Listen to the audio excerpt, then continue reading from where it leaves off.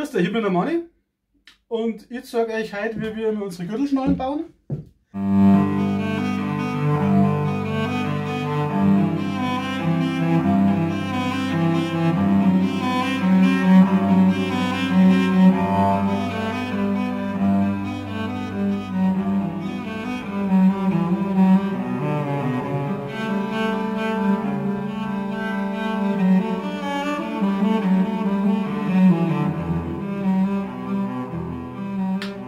Ich bin der Manni und ich zeige euch heute, wie wir unsere Gürtelschnallen bauen.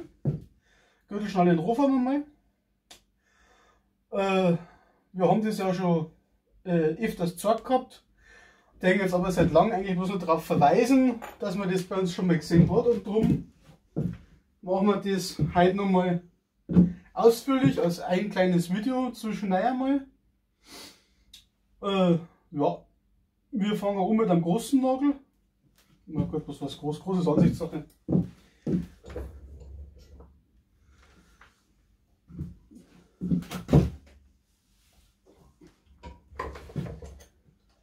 Den spannen wir einmal kurz ein. Dann spannen wir hier wieder relativ kurz ein. Tiefer Winkel her.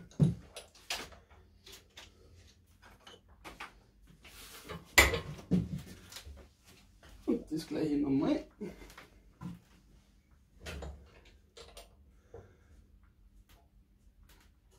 Und Finale Grande.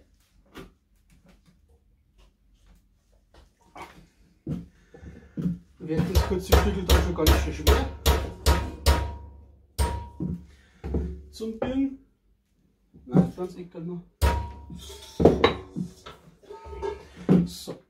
Wir haben jetzt da natürlich hier noch so eine Öffnung, ist ein bisschen verbogen. Das ist ganz normal, aus dem einfachen Grund, dass ich den Nagel da wegstehen lassen muss. Aber das ist nichts, was uns stört.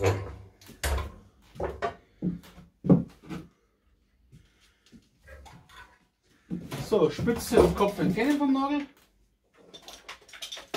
Dann können wir schon mal anfangen, das ein bisschen nachzurichten, auszurichten.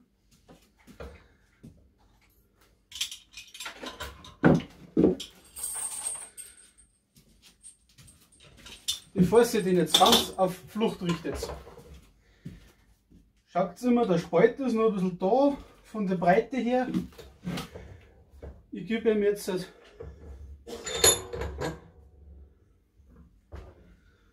von der drüberen Seite noch einen kleinen Schlag mit.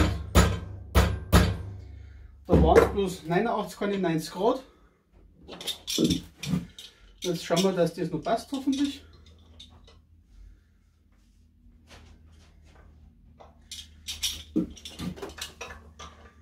Jetzt da noch den ein bisschen. So. Jetzt haben wir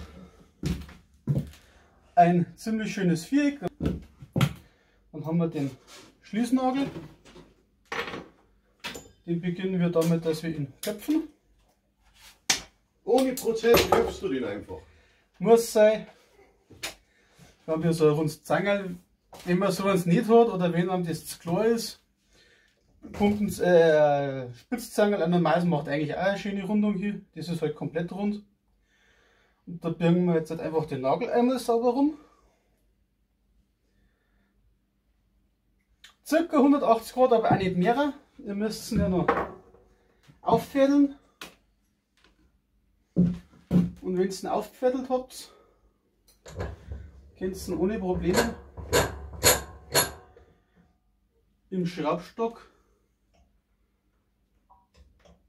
weiterbirgen, bis eine schöne Schließe ergibt. Man kann auch einen Hammer hernehmen, aber mit Manni seine Bratzen braucht man keinen Ich Hammer. hab den großen Nagel ohne Hammer gebrungen, dann werde ich aber den kleinen Nagel ohne Hammer. Du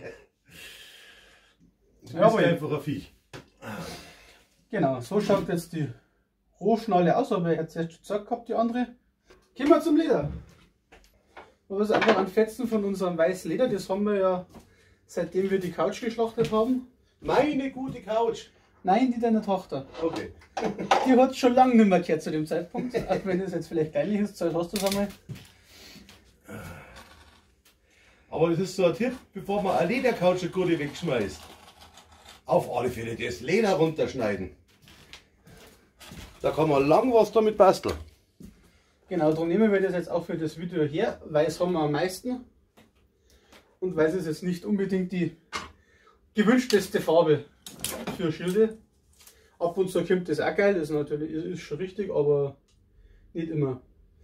So, jetzt messe ich hier und komme so auf, ja, ich sage mal knappe 2,5.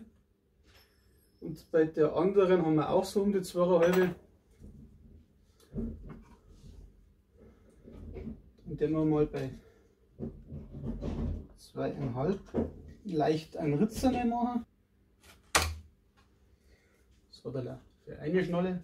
Dann müssen wir jetzt schauen, was für eine Länge wir planen. Ihr müsst bedenken, das Leder muss um den Nagel komplett rumgehen. Und allein das sind schon gute 2,5-3 cm, den Umfang vom Nagel auf Lederdicke gerechnet. Und dann braucht sie ja noch was, um das Leder auf Leder zum Tor. Also wir denken es ja meistens Nierten. Einfach da hinten haben schöne Nierten gemacht. Äh, ich zeige euch in dem Video jetzt auch, dass da der Patix ganz gut geht, der Kontaktkleber.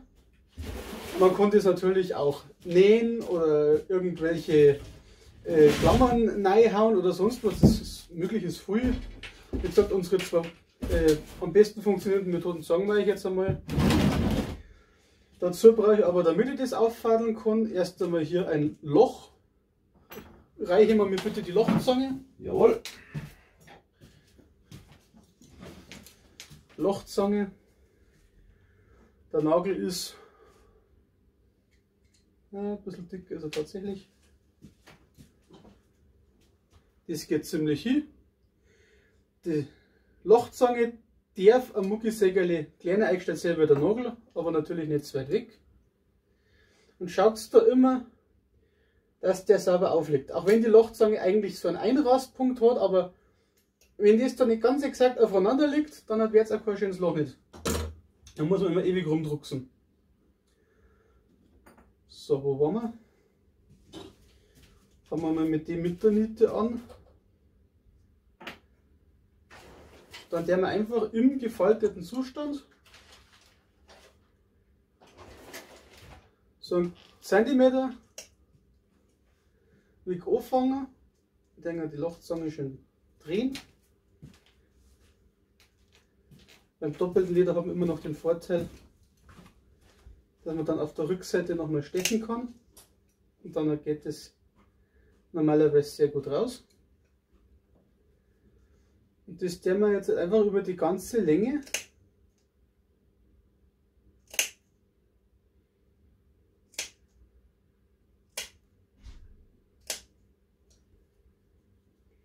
wenn das da an dem Nagel liegt, fällt das gar nicht mehr auf, dass das ein bisschen rauer oder glatter ist, weil das eh ziemlich unter dem Nagel verschwindet.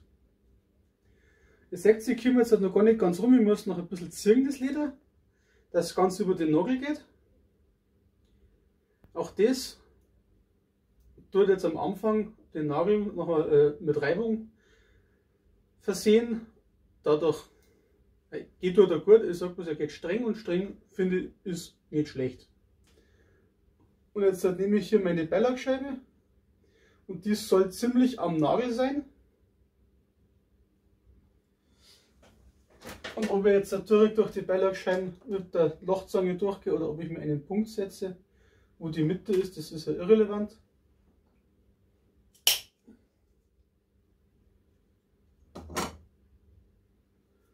Wunderschön.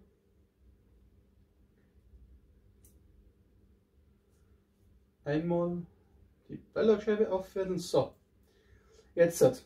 Ihr habt einen Nittenkopf, der ist fertig, der ist schön, den empfehle ich oben hin zu machen.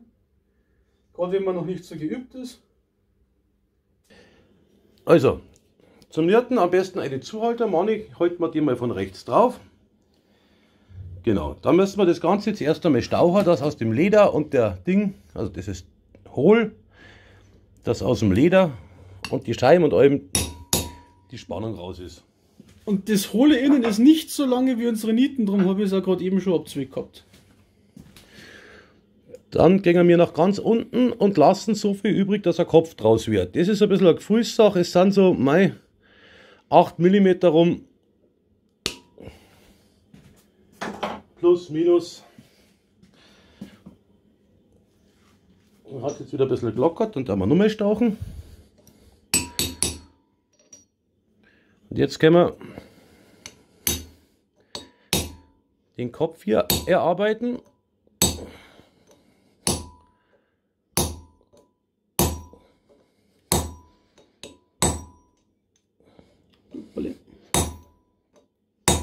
So, jetzt habe ich für einen komplett runden Kopf habe zu wenig Material übrig lassen. Das war aber Absicht, weil mir innere Nietenköpfe immer abflachen.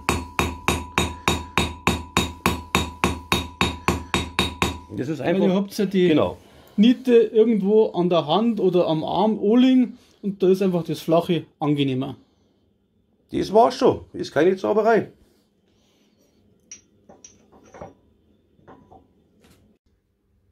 Kommen wir zur anderen Variante. Ich glaube, so liegt es noch im Video. Könnt ihr es euch noch ein bisschen anschauen.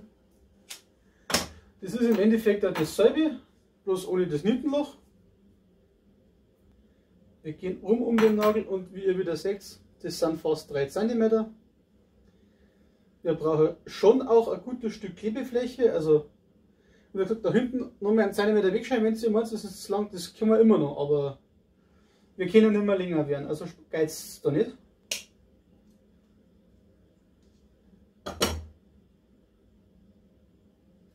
Wunderbar. So, weil ich es jetzt erst gesagt habe und ich kein Durchmacher bin, jetzt nochmal am Brett, nicht freihändig. Es ist zwar ein bisschen lang, man kann jetzt ein Stück Metastab nehmen, aber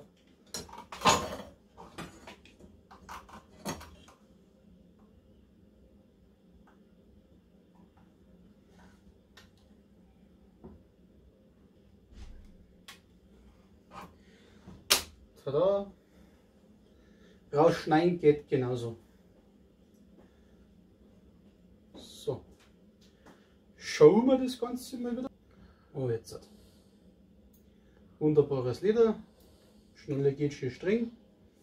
Hab da hinten einen Haufen Leder, das was noch übrig ist.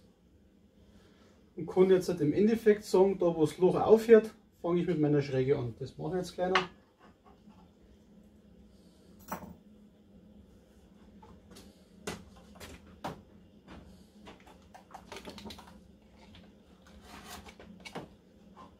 So, wunderbar. Patex. Ich kriege kein Geld von Patex. Es ist keine Werbung, es ist meiner Meinung nach der Kleber. Ich kenne nicht einmal einen anderen für solche Sachen. Wenn ich jetzt den alten nehme, ist es vielleicht ein bisschen unkenntlicher.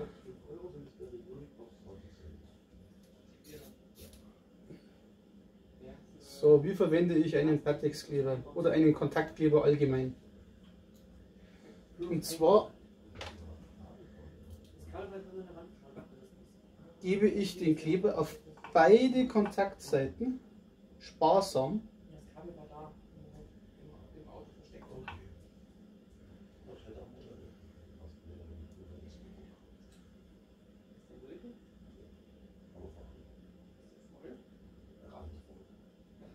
und auf die ganze Kontaktfläche, die ich kleben möchte natürlich. Ja, jetzt ist der abgelüftet. Man weiß, ob man es am Video sieht, der glänzt jetzt nicht mehr so wie vorher.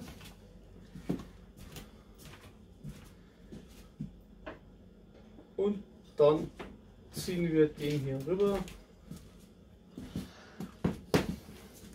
Schön gerade am besten.